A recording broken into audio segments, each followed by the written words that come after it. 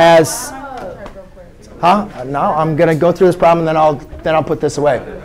So, ladies and gentlemen, the only difference with this one is you guys can see now I have a binomial radical expression. So therefore, I'm going to have to multiply by the conjugates.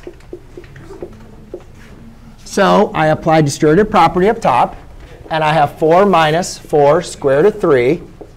In my denominator, again, I mentioned this is a binomial times a binomial. You can use the box method, but this, you, when you multiply a number by a conjugate, like I mentioned with the imaginary numbers, this gives you a difference of two squares. So you really only need to multiply the first term and last term.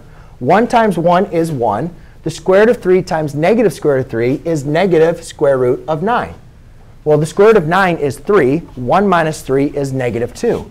So therefore, I have 4 minus 4 square root of 3 divided by negative 2.